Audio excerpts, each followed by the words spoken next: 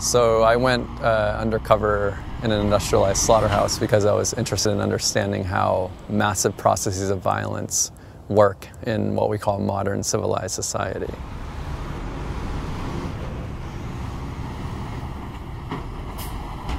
Slaughterhouses, for the most part, are located far out of urban areas. They're located in rural areas where the vast majority of urban consumers will never have to confront what takes place inside of them. They're also hidden socially. We delegate the work of killing to a group of people who have very little rights. We also hide them uh, linguistically, right? Steers become steaks and heifers become hamburgers. We hide places of violence, we hide places of, of ugliness uh, so that we can continue to live as if they didn't exist while still relying on their products in our everyday lives. Two months into my field work, uh, six cattle escaped from a slaughterhouse up the street from the one that I was working in. Three of them made an immediate run for the parking lot of St. Francis of Assisi Catholic Church. These cows were captured and taken back to the slaughterhouse. But one of the cows made a run down the main boulevard in Omaha and then took a turn into an alleyway. This escape took place during the afternoon break for the slaughterhouse that I was working in.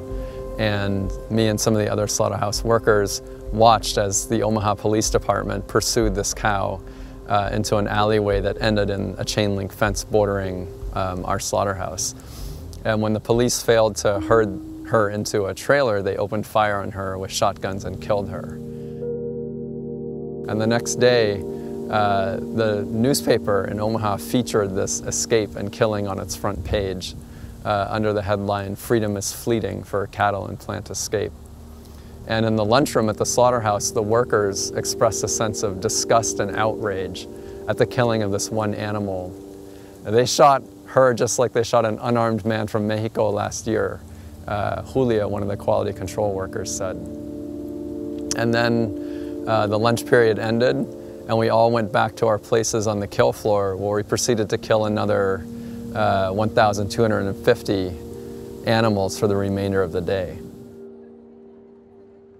Social media has radically changed the distribution of information.